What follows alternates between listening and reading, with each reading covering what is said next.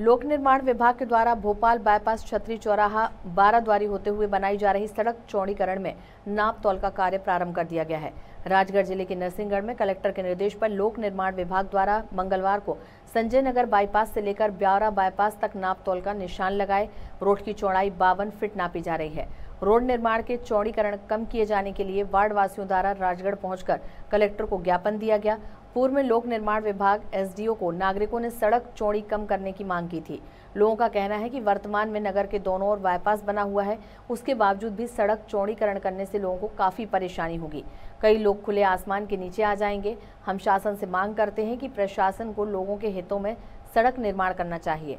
वर्तमान में नगर के कई मार्ग 26 फुट से 30 फुट तक के बनाए गए।